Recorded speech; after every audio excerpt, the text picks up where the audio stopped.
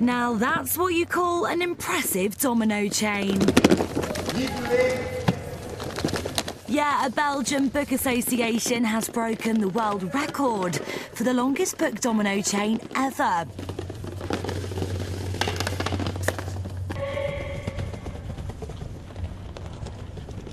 The record breaking event was designed to celebrate books and promote reading.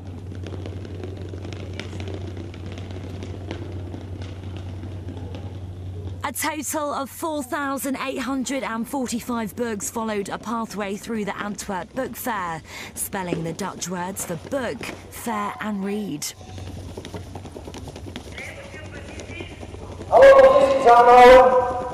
It took 40 volunteers two hours to set up the lines of books.